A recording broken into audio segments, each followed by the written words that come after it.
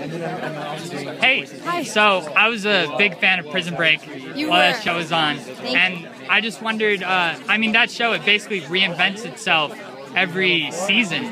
Like, did you have a grasp on your character, or was it just being constantly like the ground was shifting out from under you? Um, I had a, a pretty firm grasp on her all around, and then they threw in, oh, by the way, you have a daughter.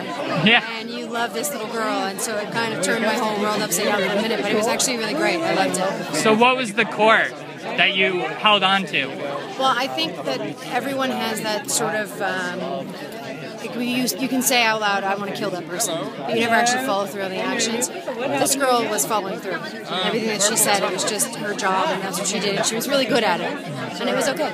Yeah, You also have uh, the honor of being in a Halloween movie. that's true. Any fun memories from that one? I just signed um, Michael Myers' mask, one of the originals, for Jamie Lee Curtis, and all of the proceeds are going to the Children's Hospital LA.